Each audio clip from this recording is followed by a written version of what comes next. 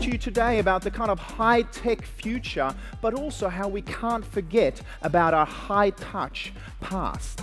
Sometimes when I speak to audiences around the world, I get asked the question Anders, weren't things better in the good old days? We're somewhat irrational when it comes to this concept of change, disruption, and doing things differently, aren't we? Well, we're living in an entirely new world. We need to upgrade the way we think about change.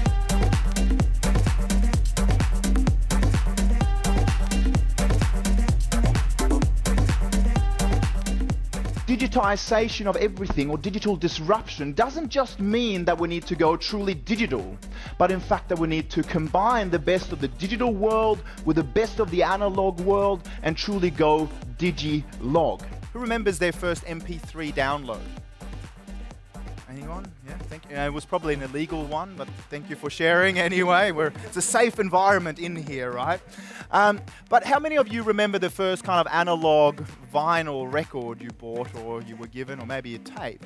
It has something different to it, doesn't it? And I just bring up this visual here because when my brother and I are out and about, people go, Sing us that song.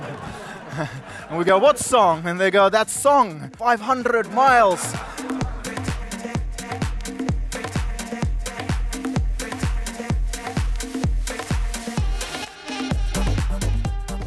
To connect and provide value to digital minds and connect with analog hearts. If I say Google, would you say more digital or more analog? Digital. So it's almost cynical that in the mail, who remembers physical mail? in the mail, I get one of these. It's very thin, as you can see. It's a printed voucher a printed analog voucher telling us to communicate digitally and actually sign up for Google AdWords. What is this an example of? Not just digital or analog, in fact, it is Digilogue, combining the best of both aspects of communications.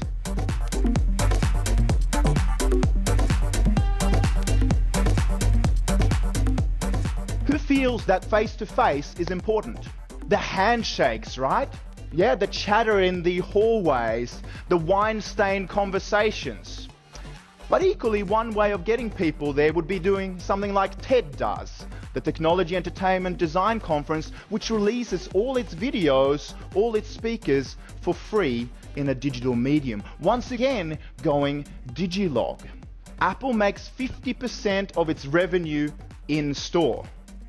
How?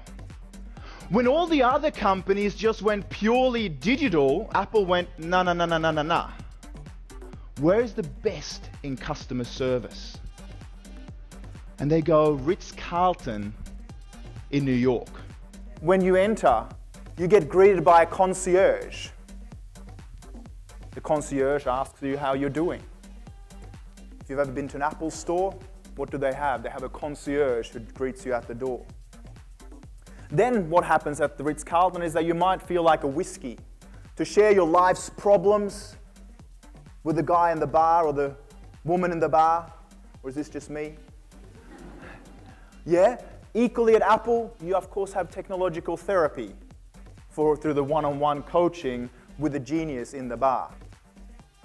Taking one business model, transferring it into your own industry, and deriving massive, massive profits interesting flip, isn't it?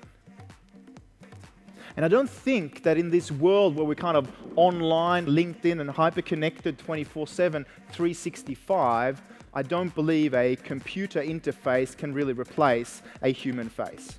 The solution is not for you to throw the baby out with the bathwater, but for you to get an insight into digital disruption and realize what it means for your business and how you need to adapt with it to go Digilogue.